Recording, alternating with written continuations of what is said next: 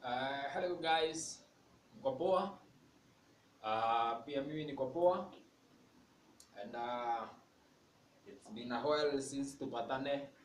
So how are you doing? Hope mko fine and uh, hope mnasoma bado. Uh, time inasonga and I hope by the time exam inafika we will be have uh, tackled what you have to tackle. So for today, it's a audit and assurance class. So have your notebook, uh, audit and assurance, have your notebook and a pen. And let's start with a topic from where we stopped last time. And I know Last time we stopped, uh, I told you to write a subtopic, rights of auditors. Rights of auditors, into bracket section 162. Into bracket section 162. So if you are ready, we can start our lesson and let's proceed. So right number one. The auditor has a right to access all at all times the accounting records of the company. Number two, auditor has right to receive notice of general meetings, attend and speak during the general meetings. Right number three, right to require from officers and employees of the company any information and explanation deemed necessary for the purposes of the audit. Four, right to require that subsidiaries and their auditors provide such information and explanations as deemed necessary for the audit of the holding companies. Right five, right to remunerations, that is right to salary. Six, right to legal and technical advices. Six, right to send representations to shareholders in case there are attempts by the directors to dismiss him. Duties of the auditor. Subtopic Duties of the auditor. So, number one, to report to shareholders on the financial statements read before the company at the annual general meeting whether, in his opinion, the balance sheet gives a true and fair view of the company's financial position at the balance sheet date, comma, the profit and loss accounts gives a true and fair view as to the financial performance of the company and whether the financial statements comply with the requirements of the relevant financial reporting frameworks.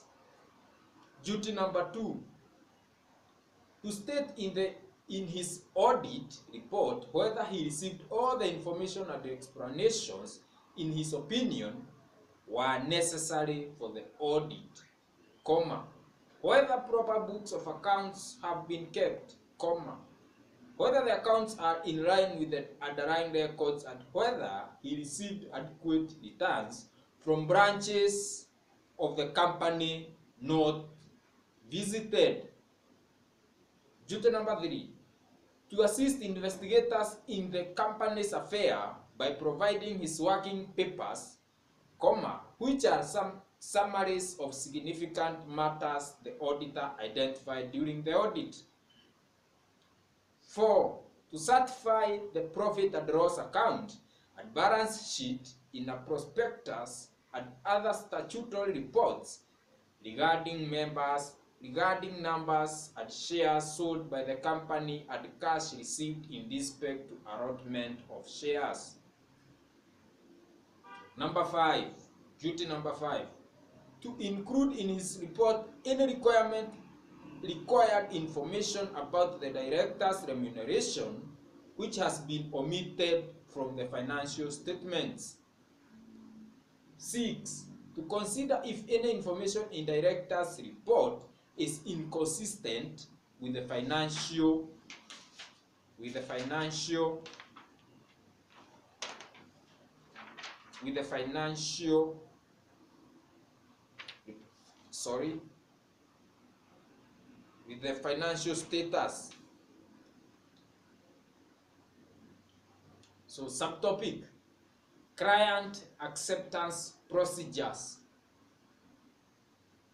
how do clients accept uh, to appoint an auditor? Client acceptance procedure. Accepting another subtopic accepting appointments as company auditor. How do an auditor accept to be yes appointed as an auditor of a company? Upon receipt of a request accept an appointment as the auditor of a company the auditor should one ensure that he is professionally legally and ethically qualified to act as an auditor of that client. Two he must ensure that he is not a servant or in partnership with a servant of the company and neither must he have any personal family or business relationship with the prospective client three establish whether his firm has the technical proficiency to undertake the audit four seek seek reference about the status of the company and its management so as to assess the potential risks in associating with the prospective client. Five, communicate with the present auditor. Then a subtopic, after accepting the appointment, what should the auditor do? The auditor should ensure that the removal or resignation of the existing auditor is properly carried out in accordance with the Companies Act. Two, the auditor should obtain a, a copy of the new resolution passed at the annual general meeting to appoint him as the auditor. Three, the auditor should set up a letter of engagement for the new client company. A small explanation hapo. A member invited to undertake professional work additional to that already being carried out by another auditor who will still continue with his existing duties should as a matter of professional courtesy notify the other auditor of the work he is undertaking. This notification need to be given if the client advance a valid reason against it. The letter of engagement. The letter of engagement. This is a letter sent by the auditor to the client. It is in the interest of both the client and the auditor that the auditor sets an engagement letter preferably before commencement of the engagement. The letter of engagement has the following purposes. One, helps avoid unders- misunderstanding in respect to the engagement. Two, documents the auditor's accept- acceptance of the appointment.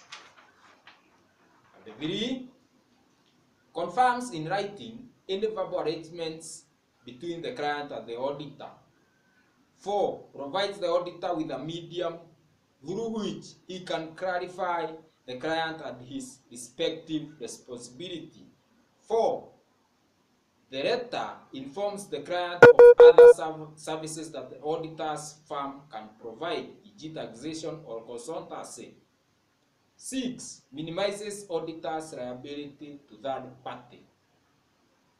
Principles contents principal contents of an engagement letter. Subheading principal contents of an engagement letter.